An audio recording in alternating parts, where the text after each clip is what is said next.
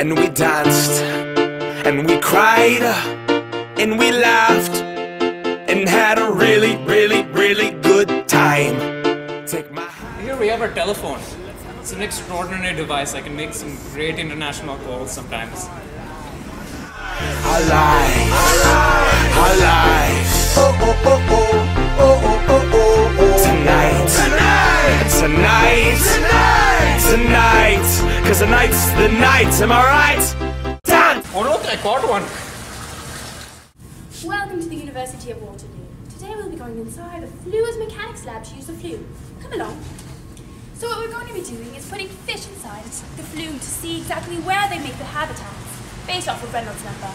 Here's my lab technician, TH. Oh hi, I didn't see you there. I was just preparing to take a bath actually. Well, would you like to show us exactly how investigation should go today? Oh sure. So what we have here is an apparatus called a flume. And what we've got is a steady state flow flowing through the system and exiting at this outlet right here. What we put in is some fine grained sediments over here and we build it up so that we can study the behavior of feeder fish with respect to the flow rate. Now what we want to do is we're going to calculate the flow rate by calculating the volume that fills up this graduated cylinder in a given time. Using that flow rate, we will be able to determine the velocity and in turn determine the Reynolds number. So according to my calculations, that's about 0.0007 meters cubed per second. So give or take 1 liter per second flow rate, which is pretty good, that's what we wanted. Now it's time to introduce the real stars of the show, the fish. We're going to put them in the flume.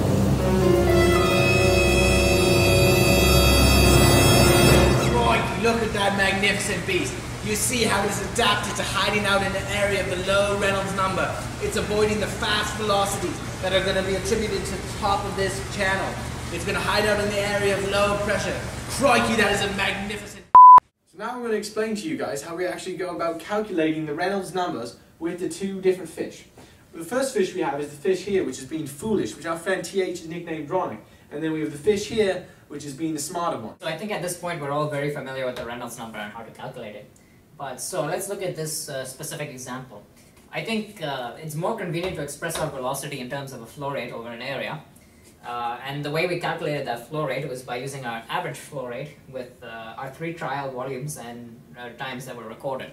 The area we're considering is this region over here with width of 7 centimeters and height of 2 centimeters. And the length we're looking at is the length of the fish body, which we've assumed as 5 centimeters. And we're considering a flow of uh, 20 degrees Celsius, and we were given a kinematic viscosity for that. So plugging in all our numbers into this expression, we should receive a Reynolds number in the order of 27,755, if my calculations are correct. That's pretty turbulent. So now what we need to do is use this Reynolds number to figure out how turbulent the fish is going to be in this region. So the way we're going to use that is we're going to figure out the difference in the velocity between this region and this region. So we know that the flow going through here also must equal the flow going through here.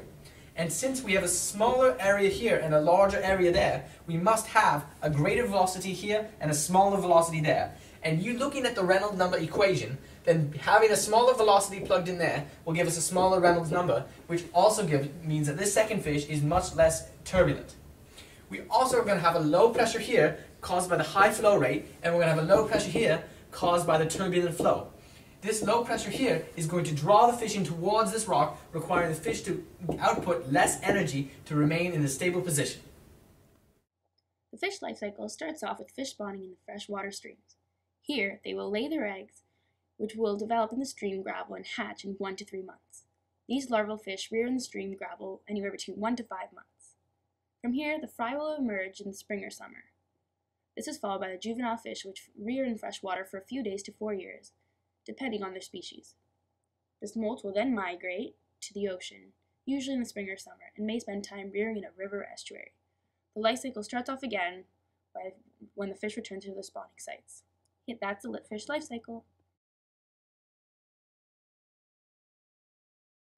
As I just mentioned, fish tend to lay their eggs within gravel bits. This is because these gravel bits serve as a shelter to the eggs. These areas where the eggs are laid are typically of low Reynolds number and as such prevent the eggs from being flown away.